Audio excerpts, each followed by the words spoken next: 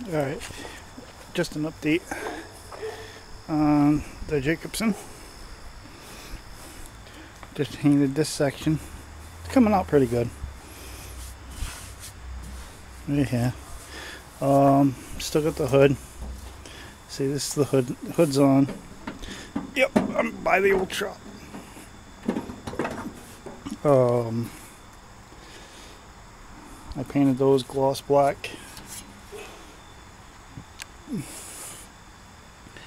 This is all that was wrong with it. This and underneath it, and I gotta fix this wire.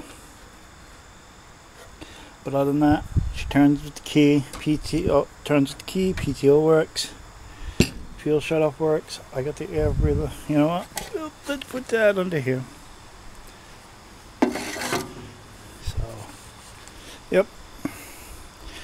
She's coming along slowly but surely. Oh yeah, I painted the this wheel. Tell me what you think. Or should I go with it like an antique white? Is that too bright? But that's what it'll look like. Put a new seat on. Gotta drill some holes. Um, gotta get the lettering off. And I gotta paint that. I gotta get a few more cans. And I'm just making it, you know, spiffy for me. Uh, I gotta keep my eyes open for one of them.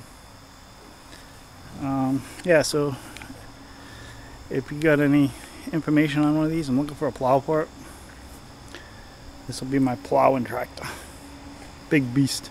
I had a 77, not 77, 65.